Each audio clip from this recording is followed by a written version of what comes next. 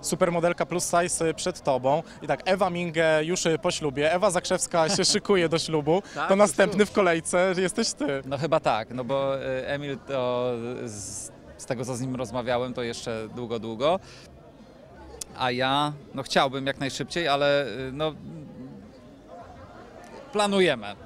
A kiedy to jeszcze nic nie wiadomo. Ale to jest bliska przyszłość, czy raczej Tak, daleka? y, Bliżej niż dalej. Czyli ten rok. No nie, nie, nie aż tak blisko.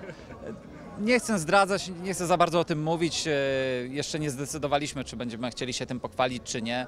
Także na razie cisza. Ale zaproszenia już e, zostały wysłane, czy, czy jeszcze rodzina też, e, wiesz, Ale nie wie? ciągnie.